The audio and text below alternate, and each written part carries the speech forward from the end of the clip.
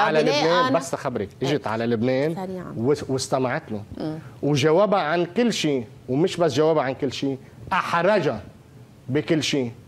يعني تخيلي بإحدى الأسئلة. عن شربل أبي سمرة إيه لا لا إنه هيك إيه مع شربل. بإحدى الأسئلة بتقول له عن فوري ما آه، جان طنوس خبرني إنه أنت كنت بدك تعطي فوري ترخيص شركة مالية.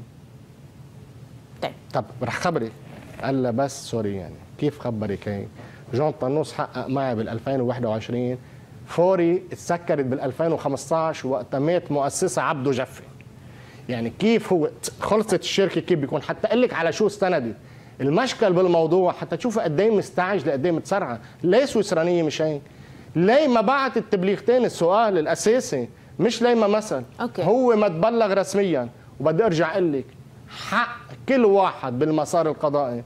إحدى الزميلات يلي فتحت الملف على درج لما ادعى عليها رياض سلامه بقي ست أشهر تت- تتهرب من التبليغ. طيب. هيدا هيدا بيصير بمسار بعيداً طبيعي. عن المسار القضائي. السؤال لا ليه قد برازيل هالقد مستعجلة. قصدك لأنه بدها تفل من إيه ليه هالقد مستعجلة بدها تاخذ قرارات. طب تخيلي أنت إيه. هي هلأ شو قالت؟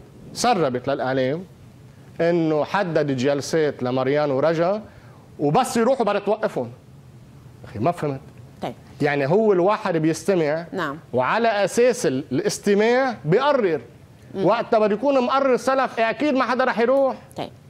أنا بدي بعيدا عن المسألة القضائية اللي رح نحكي فيها هلأ بدي بس آه، أسألك عن مسار معين. اليوم بعيدا عن التحية اللي عم تقول حضرتك صار حول آه، يعني إحدى الزميلات بموضوع بموقع درج.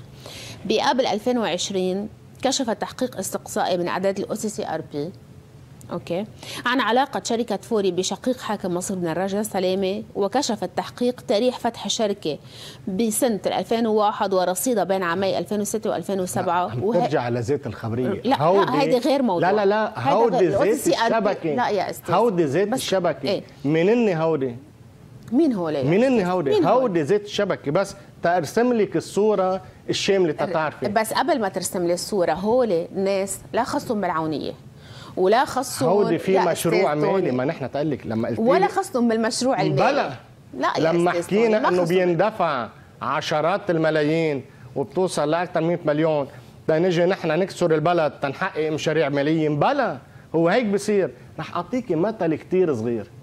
إذا أنت بدك مني مصاري أوكي؟ الك مصلحة يصير لي شيء؟ يمكن بتضوي لي شمعة كل ليلة تما يصير لي شيء. نظريا يلي عم بيقولوا بدنا نسترد أموال المودعين شو عم بيعملوا؟ بدهم المصارف تعلن افلاسها إذا المصارف أعلنت افلاسها شو بصير؟ كل مودع إذا معه مدري قد إيه بيطلع له 75 مليون ليرة. يعني هودي هن يلي بدهم يشطبوا أموال المودعين كرمال يصفروا ديون الدولة ومنجيب مصارف جديدة على بياض ترجع تعمل ثروات طائلة.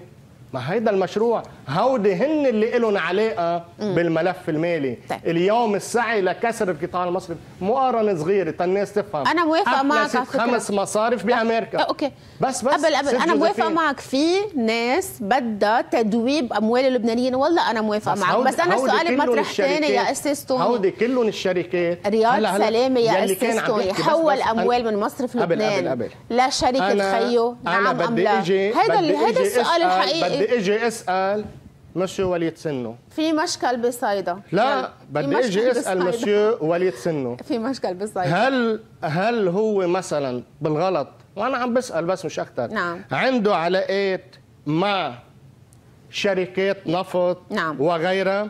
أكثر من هيك هو لأنه كذب. أنا بدي إجي أقول كيف اعتذروا اقرا بس الناس تعرف مين عم بيكذب بس فينا نقراها بعد لأنه في مشكل بصيدا أنت عم تقول قريت لي إياها بال break إنه إيه، هن اعتذروا اعتذروا وقالوا ما كانت حرفيا ما كانت نيتنا ابدا okay. نتهم رياض سلامة رح نرجع لك. حدا من عائلته بموضوع تبييض الأموال رح نرجع لك. هي الرساله موجودة okay.